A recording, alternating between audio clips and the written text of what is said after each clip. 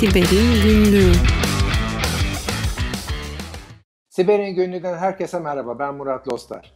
Ben Tuğba Öztürk, merhaba. Tuğba aynı haberi 3. hafta konuşuyoruz ama çok önemli. Ee, neler oluyor bir özetlemek ister misin? Evet Murat. Maalesef bildiğin gibi bu SolarWinds'in açığından faydalanan hack grupları ilerlemeye devam ediyor. Ee, en son FireEye'ın e, Red Team grubunun biliyorsun e, araçları çalmışlardı. Şimdi bu araçları ne amaçla kullandıklarını da öğrendik. E, Qualys'in haberine göre, Qualys bu konuda bir inceleme yapmış.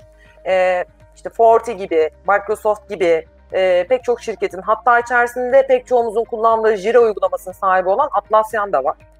E, bu tür uygulamaları geçmişte yayınlanmış olan güvenlik açıklıklarından faydalanarak şirketlerde suistimal ettikleri açığa çıktı. 18 tane patch'ten bahsediyor. Totalde bu ürünlerle alakalı olarak çıkmış patch'ler. 18 tane. Ben inceledim. Bazıları 2014'ten kalma ama pek çoğu 2020 senesine e, ait.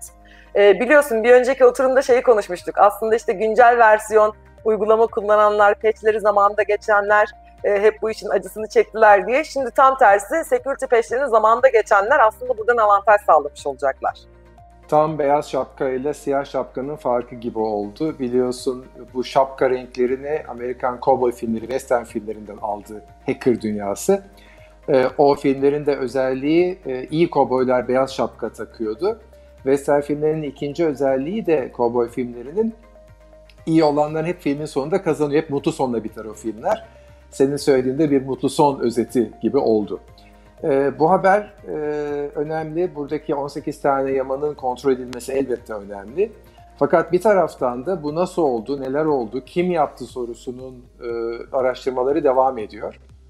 Hatta o kadar ki e, bu işin bir ucu Ruslar yaptığı kadar da ulaştı biliyorsun. E, aynı zamanda benim dikkatimi çeken ilginç haberlerden bir tanesi Amerika Birleşik Devletleri'nin e, son ayını sürmekte olan başkanı e, Donald Trump ile e, yeni başkan e, artık aday değil yani başkan olduğu ortaya çıktı sadece yemin edip göreve başlamadı. John Biden bu konuda da bir atıştılar. Hala bitmedi seçim sonrası atışmaları. ve Trump dedi ki biz hack konusunu kontrol altına aldık. Biden da dedi ki neyi kontrol altına aldınız? Hiçbir şey kontrol altında değil. Şunlar yapılmalı, bunlar yapılmalı böyle atışmaya artık başkanlık seviyesinde siber güvenlik olaylarında konuşmaya başladık diye çok açıkça görüyoruz. Başkanlık seviyesi belki zaten konuşuluyordu. Bundan önceki birçok başkanın, Obama'nın, oğul George Bush'un siber güvenlik konusundaki kararlarını, imzalarını biliyoruz. Ama basına yansımış bir başkanlık tartışması seviyesinde ben ilk defa görüyorum Tuğba. Evet bir de not düşelim tarihe istersen. Olan yine kimin başına geldi? Güvenlikçinin başına geldi tabii ki. Bu şirketlerden bu SolarWinds meselesi yüzünden etkilenen şirketlerde yine güvenlikçiler uğraşıyor bu yamaları geçmek için zamanda geçilmemişlerse eğer. Ee, bazı şirketlerden ben duyuyorum ürünü doğrudan durduranlar var ya da network izolasyonunu kesenler var.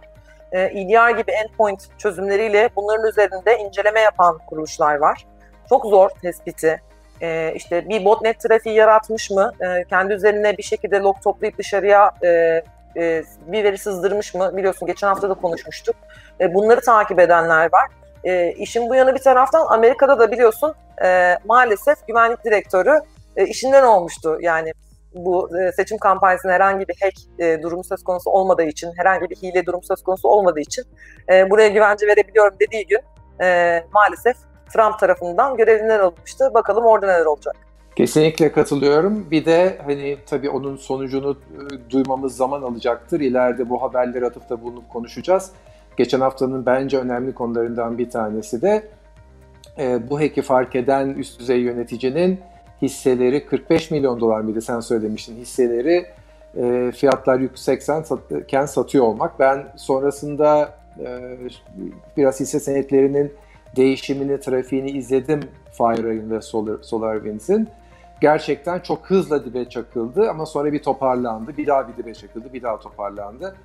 Ee, bakalım önümüzdeki günlerde iş nereye varacak. Evet, peki bu haftalık bu kadar diyelim mi? Diyelim. Ee, yılın sonuna geliyoruz. Bir de ufak anons yapalım. Önümüzdeki hafta bir e, özetimiz ve küçük bir sürprizimiz olacak size. Önümüzdeki hafta 2020'yi baştan sona özetleyeceğimiz kısa ama keyifli bir tur sizi bekliyor olacak. E, ve de en sonda da bizden size küçük bir sürpriz olacak. Şimdilik bu kadarla bırakalım. Herkese sağlıklı, keyifli, güvenli haftalar. Hoşçakalın. Hoşçakalın.